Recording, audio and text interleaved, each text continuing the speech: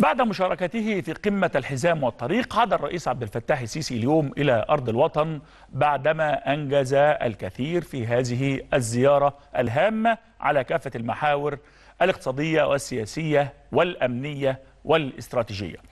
ربما التقى الرئيس في هذه القمة بأجرى سبعة لقاءات على مستوى القمة.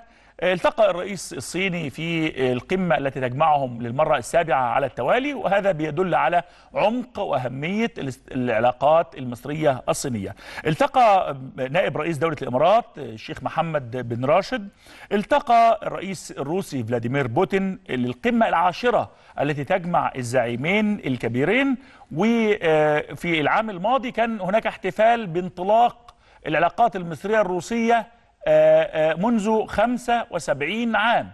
يعني العيد الماسي للعلاقات السياسية المصرية الروسية ذكر الرئيس بوتين ذكر هذا في حواره مع الرئيس عبد الفتاح السيسي. التقى أيضا الرئيس السيسي في هذه القمة أو هذا المنتدى منتدى الحزام والطريق رئيس البرتغال والتقى أيضا رئيس الاتحاد السويسري والتقى رئيس الوزراء الإيطالي جوسبي كونتي.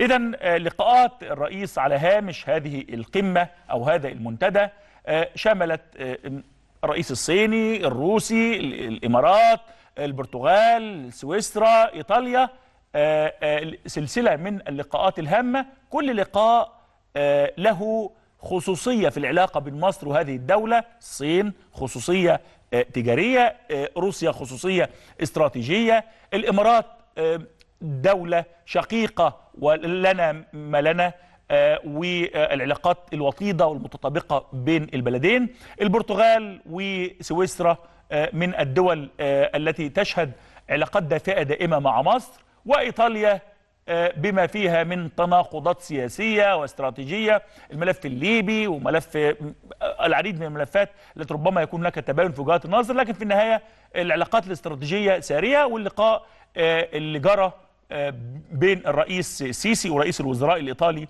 كان بيؤكد استمرارية العلاقات الاستراتيجية بين الجانبين.